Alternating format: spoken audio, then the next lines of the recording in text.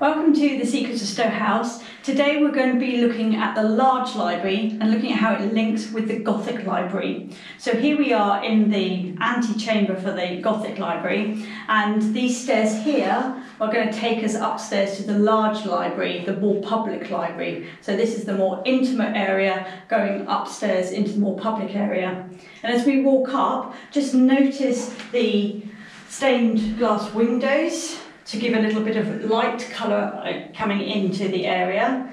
And as we move up, we can see the fan vaulting that matches the Gothic library, this Henry VII's chapel influence, and little face corbels to support that fan vaulting. And then as we move further up the stairs, we can see that additional feature of John Soane architecture with the borrowed light coming through the octagonal lamp.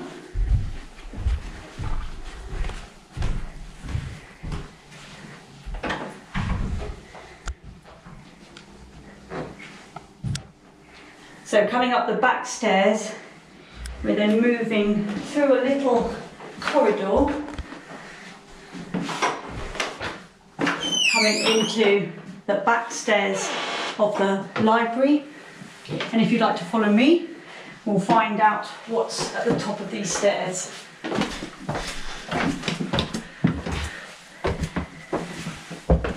So if you notice these stairs are much more rudimentary, they're not as smart as the Gothic Library steps. So this is definitely a back way into one of the state rooms.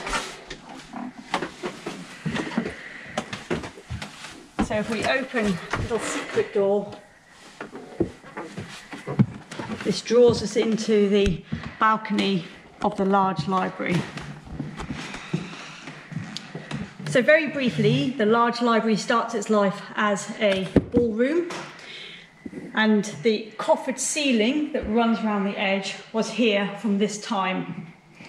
And then in the 1760s, the room was divided into two rooms with a dining room on one side and a drawing room on the other. And the central panel was put in then so that we had a design of the type that we see now over the dining room, but something different over the drawing room. And then in the 1790s, when it was opened back up into uh, one room to become the library, the panel from the dining room was copied across over to the drawing room side and it became one big room with a matched ceiling. So this balcony here, we think was put in about 1815 or so. And the little feature that we've just walked through, the door that we've just walked through, you can see is a hidden bookcase so that it just flows along the length of this wall. And what makes it special for when we were restoring this room is the little spine here says SHPT Library Restoration 2010.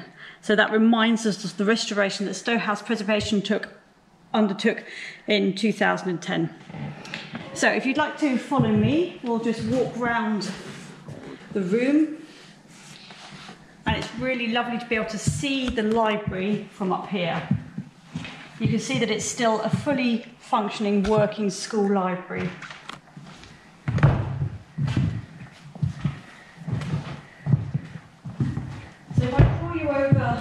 to this east side of the room and we can see that we're passing a door beneath us. Now that door leads to the blue room, which was originally a manuscript room or the ante-library that looked almost identical to this room with floor-to-ceiling mahogany bookcases and it had a corresponding balcony on the other side of this wall. So this door here, we can tell not only by the fake book spines here, but also the cuts in the uh, rail above, we can tell that this is the false door that originally linked into the balcony on the other side, into the room the other side, which no longer exists. And here again we have the spine that says SHPT Library Restoration 2010.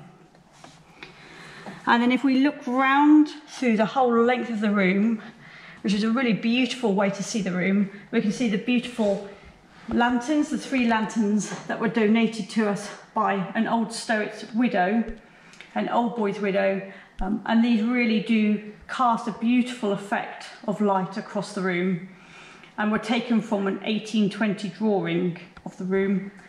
And when they were made, the manufacturer said they'd never seen anything in their pattern books like this. So they are unique to Stowe.